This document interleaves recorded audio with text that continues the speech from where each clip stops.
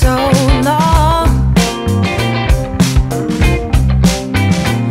And I know I may be coming off too strong. Let's stop and think about this. Gotta round out some edges.